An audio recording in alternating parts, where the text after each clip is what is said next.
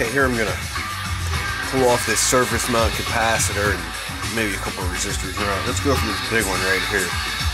I'm using the, uh, the JBC micro tweezers. Yeah. Let's see. The PA4. Come on, focus. Well.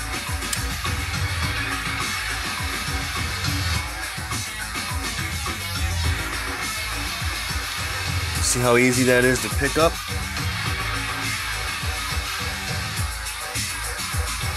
Now we'll pull uh, a couple more of these capacitors off here.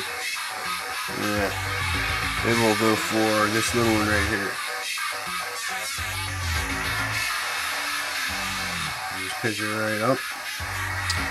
With this bigger one here.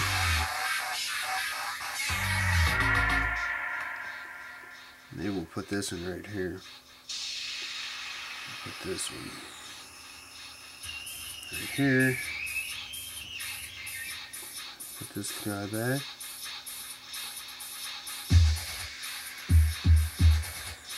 See?